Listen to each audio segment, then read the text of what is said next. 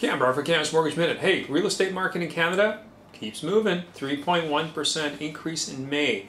Uh, this was primarily led by the western provinces. Calgary and Edmonton were on the rebound for last month, which means that buyers are starting to tread back into those markets. Two story single family homes have been the biggest gainer year over year. Price gains in that area were 7.18%. One story homes posted a 4.11% increase, and townhomes came a little over 4% as well. Uh, Vancouver and Toronto are leading the charge. Vancouver at 9.41% in May and 8.9% in for Toronto eh, for May activity increases, which are huge numbers, and that's the fourth consecutive month in a row.